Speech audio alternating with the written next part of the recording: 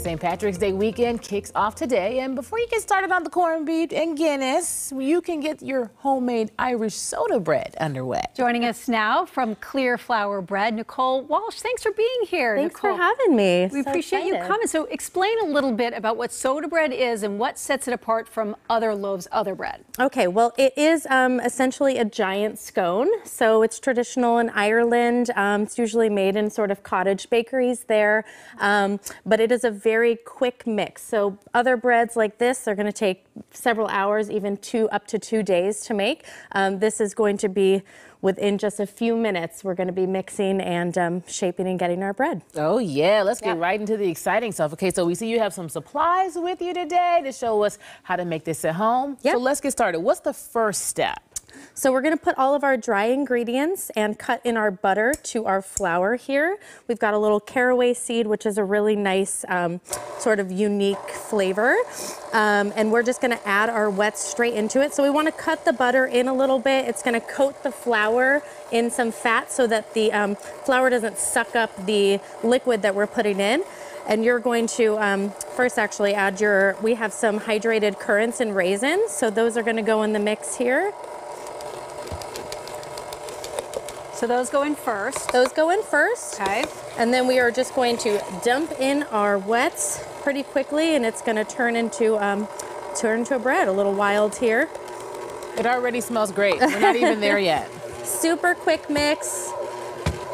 And we are gonna listen to the mixer and it's gonna tell us when it's done.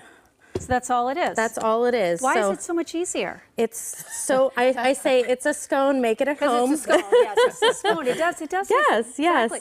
So then what do we do here for the next step? So we're gonna actually take it out of the bowl and dump it on the counter here. I'm gonna use some flour, sorry. Use some flour here.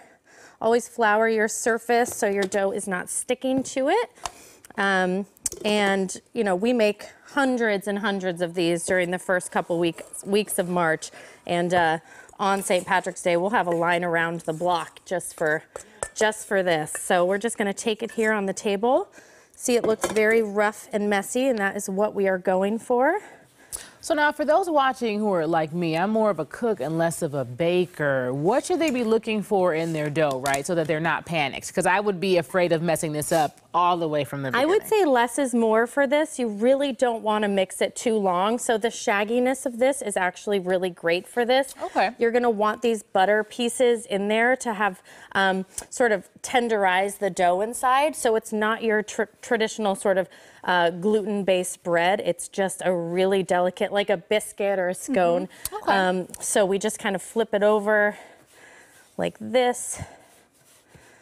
Kind of like a little hockey puck This is there. a fun little project you could do with your family too. You can It's do, so oh yeah, my three-year-old mixes this where, um, Much less scary than sourdough. it- exactly, yes it is. And it's, it's so easy and you can have this in the oven within um, moments. We like to let it rest for about 20 minutes um, just so that the flour can absorb and everything sort of is homogenous before it goes in the oven, but you can just bake it right I want to ask you real quick because you have a lot of other yummy things here. What else do you guys do at your bakery? What else do you, do you, do you bring for us The here? better question is what we don't do. Um, we do so much. We do laminated um, pastries, we do cookies, tarts, cakes, um, everything that you sort of under What's the most sun. popular? What do you mo- what do you like the Our best? chocolate croissant um, is, I think, my personal favorite. Just a classic, and I think if someone can do a good croissant, then you know they have the skills.